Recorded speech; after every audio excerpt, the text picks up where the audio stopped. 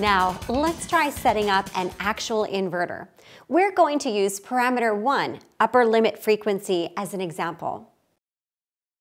This is the operation panel when the power is on. Press the PU EXT button several times to change the operation mode to PU. Press the Mode button to choose the parameter setting mode PRM. Turn the M dial until the LED monitor displays P.1, parameter number 1. Press the Set button to read the current setting value. The initial value is 120 Hz. Turn the M dial to change the value to 60 Hz and press the Set button to finalize it. The setting is completed when 60 and P1 flicker alternately. As a useful inverter function, I'd like to show you the parameters to set the acceleration time and deceleration time to start or stop the motor.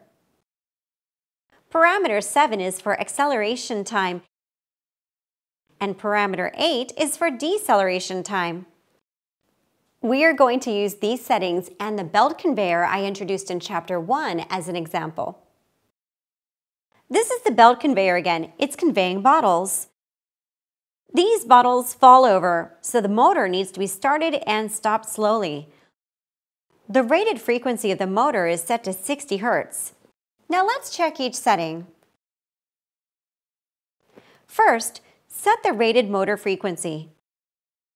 Do you remember parameter 3, base frequency? Set parameter 3 to 60. To start the belt conveyor slowly, set parameter 7, acceleration time. The initial value is set to 5 seconds, but we're going to change it to 10 seconds.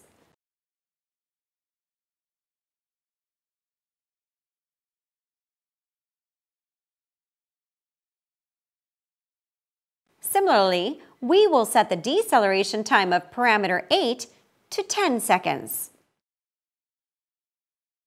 These settings allow the belt conveyor to stop slowly. Now the parameter setting is completed. Now, let's see how the conveyor operation has been changed. The conveyor with the acceleration and deceleration time set starts slowly and stops slowly. As you see, parameters allow us to set the motor according to the applications of the equipment in which the motor is used. There are many other examples available in the text for your study.